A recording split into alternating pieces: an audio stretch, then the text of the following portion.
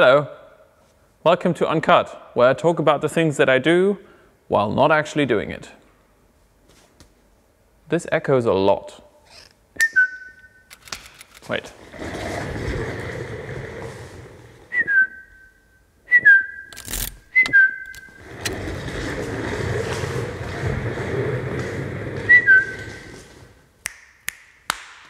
For some reason, I thought I could wing this completely and didn't need any notes. The fact that I'm standing in this spot right now with a pen in my hand answers that very question.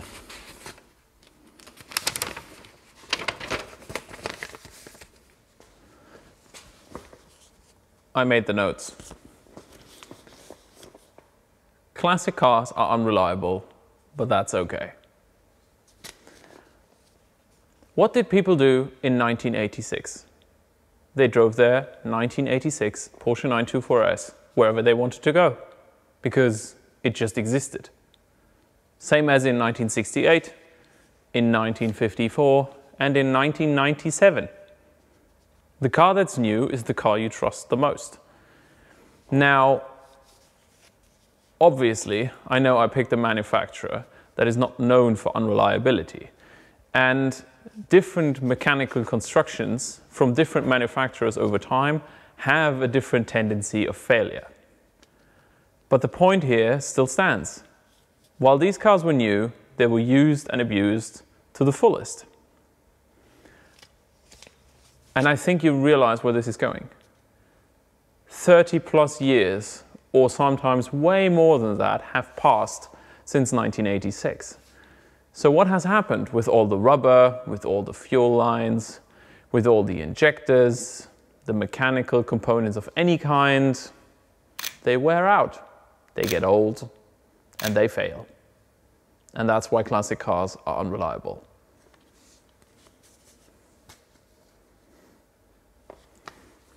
I usually, just for because I like it, I put these up and I think I'm going to do it again. But I'm not going to re-record that because I liked it.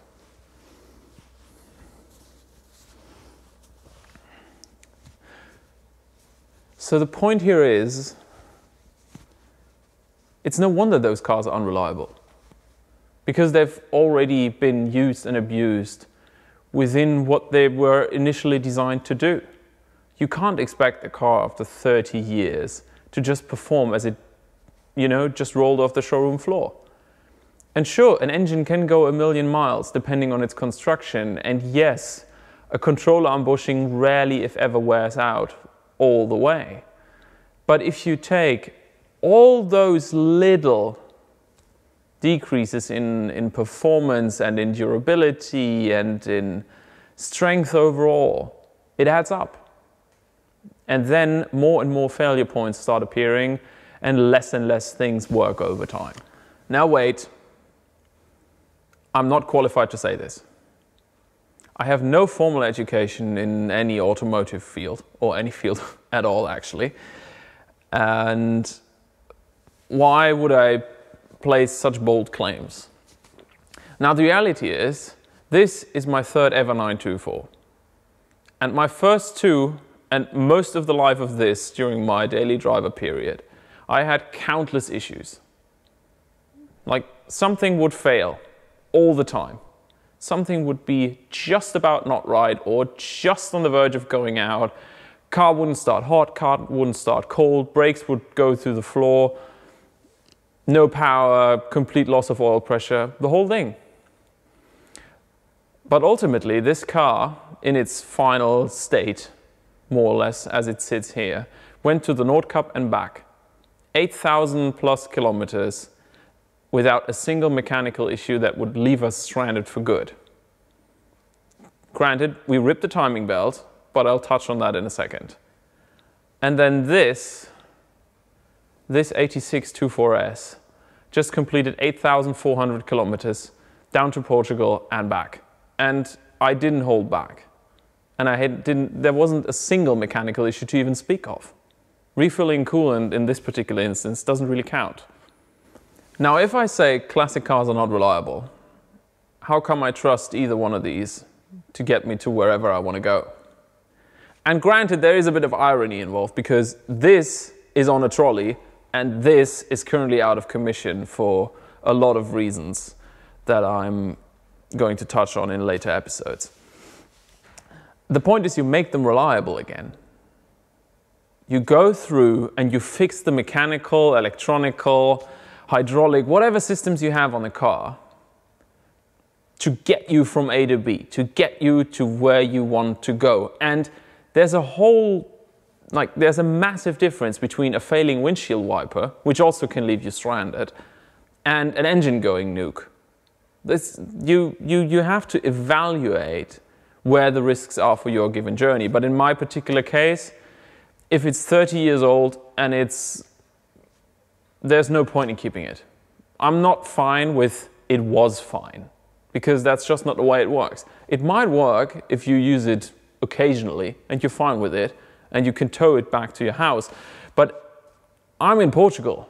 I'm at the Nordkapp. I don't have time to worry about something that I should have worried about at home. Did I get that across? I hope that was good. So obviously, in, in that whole conversation, there's a difference between repairing and restoring. To me, repairing is making something as functional as it was, and restoring is making something as functional as it was, and also looking like it's either new or as close to as new condition as possible. Because sometimes you can't replace, you can't repair, and you can't, you can't feasibly restore. Everybody who knows classic car restoration knows the point. Certain parts you have to refurbish, but you're still not happy with the end result. And for some reason, either time, money, or availability, you still have to put it back. But that's kind of the gist of it. And this car was fully repaired, and this car was fully restored. So your car is now reliable. Or is it? The thing is, every mechanical system can fail.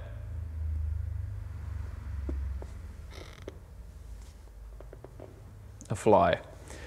Every mechanical system can fail, but it's up to you to spot which it is and when it happens. Because today's cars, you're not really supposed to do that. They have a light or a screen or a big screen that tells you stop immediately, this and that and whatnot. And maybe you have an app with a thing and then you can, it tells you what's wrong with it. Now, this is fully mechanical. This is still fairly mechanical. And they have some lights, but they don't tell you the really important stuff. Because this engine is about to go out, and this differential bearing, I think, is already done. And no one prepared us for the ripping timing belt in the 78, but we obviously knew what we were looking for. And every time you hear a noise and you hear a sound and something changes, it's up to you.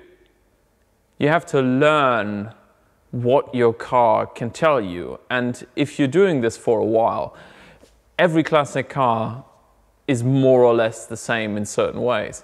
Of course, there's some differences in speciality areas of each and every individual car is like you can't, you can't know it all, but you know when something's wrong. And when something is about to go wrong, you start to be very cautious and very careful.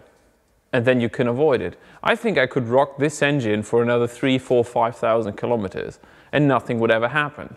But if I would rev it out once, like brutally all the way hardcore, I think I would just kill it like that. So I'm sorry. It's not only the car, you're also part of it. Calculate your risks. You see, I knew that the engine in my white car was about to go out before I left on the trip. And I knew that uh, if I am not careful and I don't pay attention to all the warning signs, it might kill itself in the least favorable moment because that's what's you know, happening.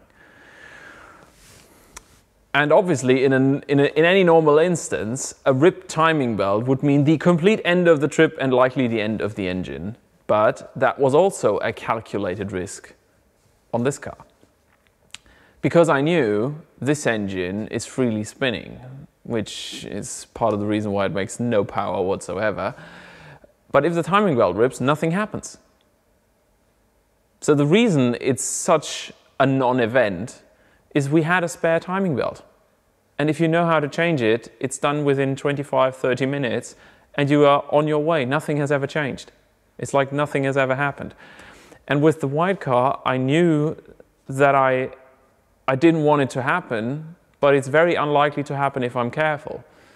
And that is also part of it. Look, you have to expect the worst possible dilemma, the worst possible thing that could happen to your car in advance. What do you do if you're really far away and your engine breaks? What do you do? Do you have a backup plan or do you have mentally prepared yourself for that situation? And in reality, I didn't ever expect the black car to make the trip to the Nordkapp and back. I mentally prepared myself for wrapping it around a tree, flying home, and calling it a journey. But it's still here.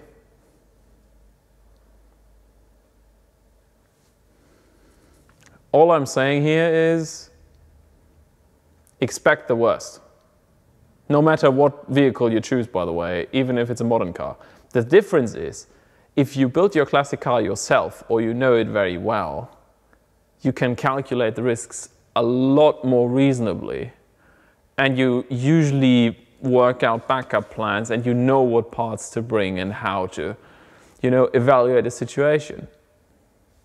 Hats off to people like Philippe Delaporte, who uh, drove around the world in a Porsche 928, because um, I know Porsche 928s by now, and uh, yeah. Uh, the reality is, you just go and do, and you learn along the way. Don't expect them to perform like they were new, because they are not. They have lived a life. Most classic cars have lived a very arduous and very adventurous life. And even those that, that lived a very boring life, they're still old. Things will still break. But if you don't do it, you'll never learn and you'll never get better at judging, you know, judging the risks and, and assessing what's going to happen. And there's, we were in Sweden on that morning. It had minus 20 some degrees. It was bloody cold. And we went on that frozen ice track during the uh, winter rally that we did. And during that ice event, I really took it to the max. Five and a half thousand RPM, which is exactly where you should shift in that because above that nothing happens. And I had the fun of my life. And sure, that's the worst thing you can do if you still have 6,000 ish kilometers to do. But if you build it right and if you assess it right, it'll last. And there's very few moments that compare to being in a place where a car is not supposed to be and enjoying it to the fullest. That very quiet sound that you hear when you're out in the open on the Lofoten Islands in winter or on a hill in Portugal with a car that shouldn't really have made it, that's not the sensible choice, that people tell you not to take, is the greatest feeling in the world. That's pretty much the reason why I do this. Sure, a modern car would have made it, but what's, where's the fun in that? And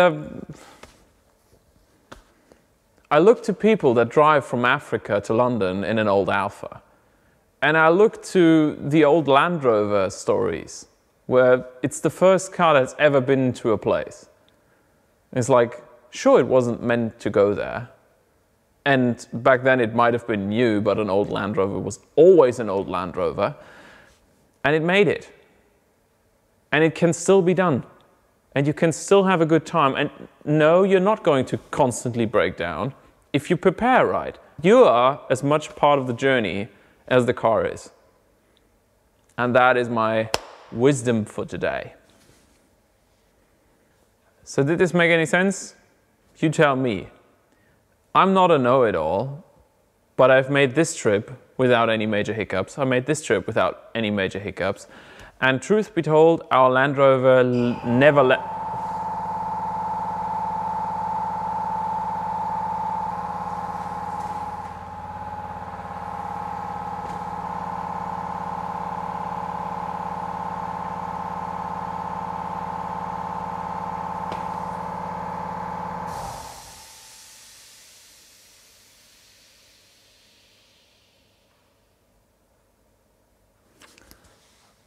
And truth be told, our Land Rover never left us truly stranded within the whole expedition trip living situation that we did.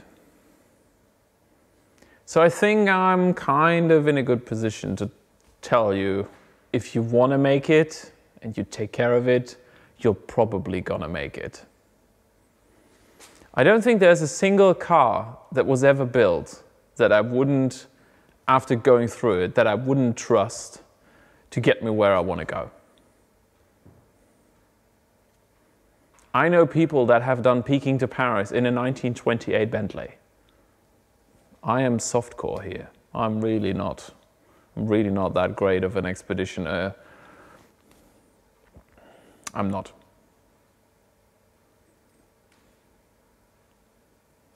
By the way, a 1928 Bentley has one of the greatest exhaust notes known to man. And as is the tradition, which is funny to say given this is episode two of Uncut, I am uh, going to show you a bit of the.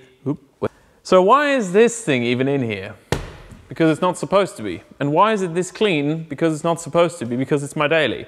Well, the problem is, it's no longer driving. As it seems, I'm going to show you that. This part has failed. Now that is a differential, and this entire shamoozles here is a gearbox. Now, it is not the gearbox that is currently in this car because that's still in it. The problem is, it's making horrible noises, that thing, and I don't think I can fix it right now. So, as I showed you last week, there is an engine block, and now there is a transmission, and this thing is unfortunately out of commission. but I got new cool parts. See this? This is a flywheel. What makes this flywheel cool is I took 1.7 kilograms off of it. And that's enough of a spoiler. Out.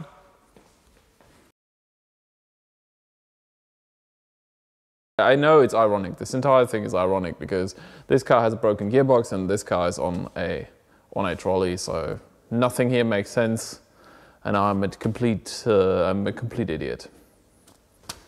Yeah. But you watched it all the way to here, so it's, it's kind of your fault too.